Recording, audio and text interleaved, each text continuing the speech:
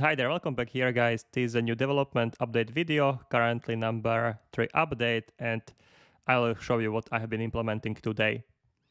Okay, so today I've been working on the navbar, footer, now you can see this hero component and also marquee component, which is the list of the products. They are going, they're animating from the right side to the left. Also the new layout. This is the same. This is the same grid as here, but a different type of the layout. The the second item is actually bigger, and also this is the marquee the same as up here, but this is just the uh, white color background. And as I mentioned, footer and the navbar. So homepage is almost done.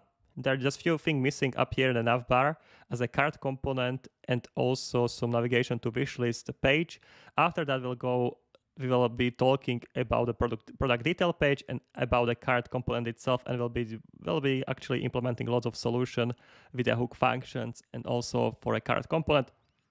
And also some uh, some things as such as uh, UI provider but is yeah in this week there will be actually a lot of uh, next.js uh, next.js coding and a lot of TypeScript Okay, from code perspective, as mentioned, we created a lot of components. So these all the components are residing now here.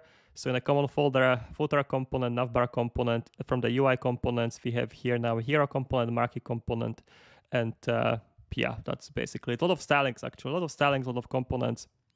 Next, le next lectures will be completely different. So that's it from the update, uh, and uh, yeah, I see you soon. Cheers.